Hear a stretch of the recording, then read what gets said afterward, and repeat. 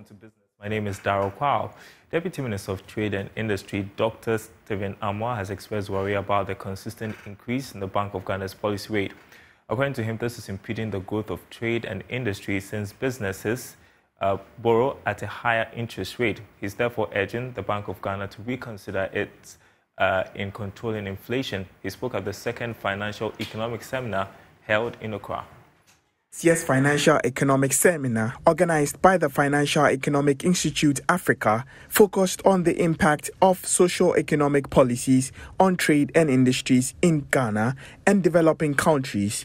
Ghana's industrial sector has been impacted by current economic challenges, shrinking by 3.2% in its contribution to economic growth in the first quarter of this year. The country continues to depend on imports to the detriment of local industries. Speakers at the seminar urged the government to create an enabling environment for the private sector to expand. Delivering his remarks, Deputy Minister for Trade and Industry, Dr. Stephen Amoah, advised the Bank of Ghana to control its policy rate to cushion businesses. When uh, policy rate was around 12.5, interest rate was 15.7, we started increasing uh, interest rate.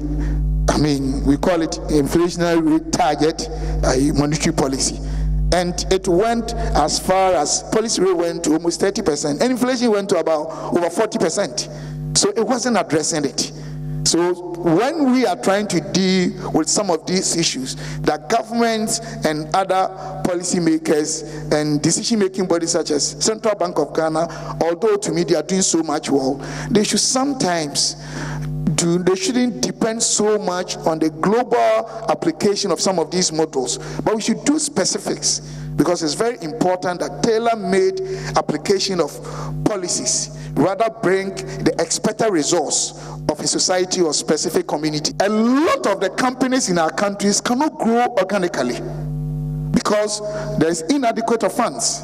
And even the Russian funds that they will get from the banks will always have double digit interest rate. What it means is that the companies cannot expand enough to employ the, the labor force.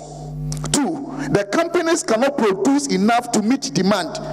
So we'll be forced to import. And once we import, we will demand more dollars and our currency will be weak. President of Ghana Union of Traders Association, Dr. Joseph Obeng, urged government to reduce the cost of taxes to improve compliance by businesses. Our credits are overpriced and that we are not competitive to the rest of the world. This time we do not do business in isolation. We do business with the rest of the world. So if you are formulating a policy in your country and you do not factor what happens in um, your neighboring countries, it means that you are out of competition. And this is exactly what um, we, I was trying to drum home about, that we have to um, um uh, um, uh, make taxes affordable. We, we, have talked so many times that um, tax to GDP in our neighboring countries is far higher than that of Ghana. Why is this so? It's so because their taxes are uh, fewer and then affordable as well. Ours is so many. So because their taxes are affordable, compliance level in those um, um, countries that we're talking about are so high that have made the tax to GDPs in these countries far higher than that of Ghana. And so it is very important for uh, authorities um, to know, uh, sit down with us again, evaluate things, dissect things, and then make cost of doing business um, very um, attractive here um, in, in this country. The speakers also called for mutual beneficial policies for the benefits of both private and public sector. The annual Financial Economics Seminar is aimed at finding long term solutions to most of the finance and economic challenges confronting developing economies, including Ghana.